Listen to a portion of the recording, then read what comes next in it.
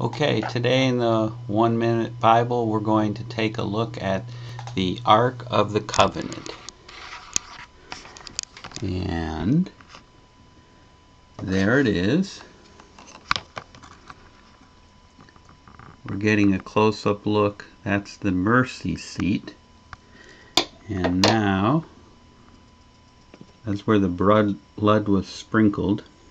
We're going to look inside and when I see inside the Ark of the Covenant, I see three things. I see the law, and to me, you can read more about this in Exodus 25, the Ark of the Covenant. But to me, I um, think of the Father.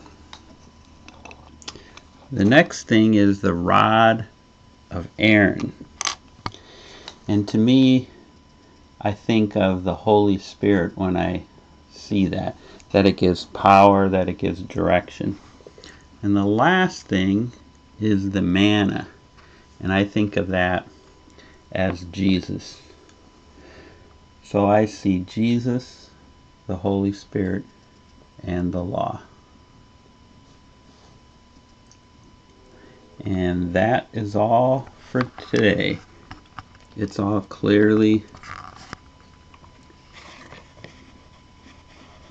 in the Bible.